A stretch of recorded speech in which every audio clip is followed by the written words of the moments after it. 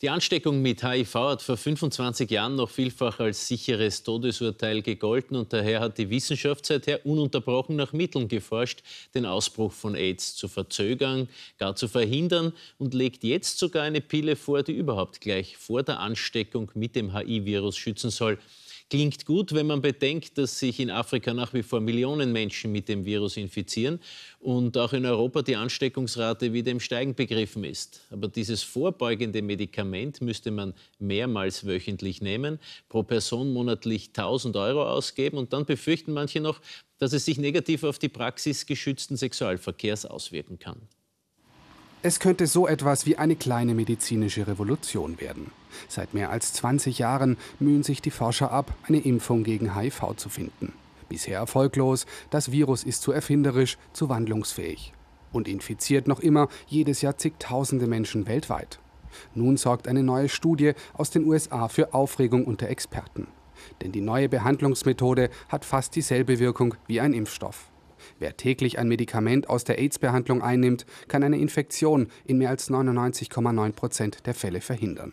In der Untersuchung infizierte sich von 650 Teilnehmern kein einziger, obwohl viele durchaus riskante Sexualkontakte hatten.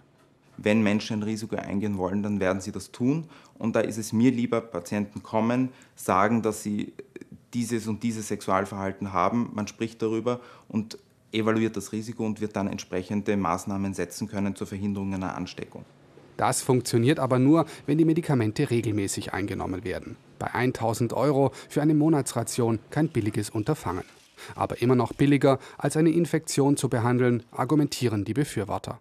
Was äh, in Österreich relevant sein müsste in dem Zusammenhang ist, dass man äh, diese Gruppe, die wirklich als Hochrisikogruppe firmiert, äh, identifiziert und erreichen kann, um für diese Gruppe diese Medikamente zu verabreichen. Aber auf die ganze Bevölkerung auszudehnen, äh, die Vergabe dieser Arzneimittel halte ich für Österreich nicht sehr äh, sinnvoll.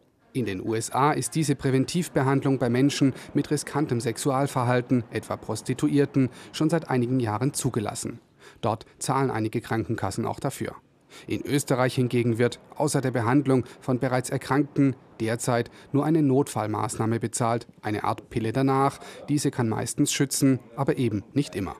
Experten sind auch skeptisch, ob die Pille davor nicht dazu führen könnte, dass viele Menschen auf das Kondom verzichten und sich dadurch andere Krankheiten holen sondern die PrEP kann ein Baustein sein in einem Gesamtkonzept der HIV-Prävention und deswegen ist sie prinzipiell zu begrüßen. Sie kann aber niemals ersetzen klassische und bewährte Methoden der HIV-Prävention.